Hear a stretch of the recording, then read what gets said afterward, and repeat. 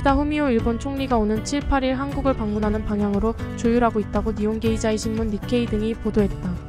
가나를 방문 중인 기시다 총리는 이날 현지에서 기자단을 만나 재반 사정이 허락한다면 7, 8일 한국을 방문하는 방향으로 조율 중이라며 한일 관계와 급변하는 국제 정세에 대해 진솔한 의견을 교환하는 좋은 기회가 될 것으로 기대한다고 말했다.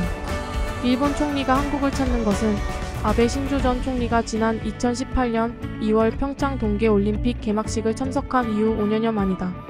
셔틀 외교 차원에서 일본 총리가 한국을 방문한 것은 2011년 10월 노다 요시히코 당시 총리의 방한 이후 11년 7개월 만이다. 윤석열 대통령과 기시다 총리는 지난 3월 도쿄에서 열린 정상회담에서 셔틀 외교 재개에 합의했다. 이번 방안에서 양측은 한미일 경제안보 공조를 논의할 것으로 예상된다.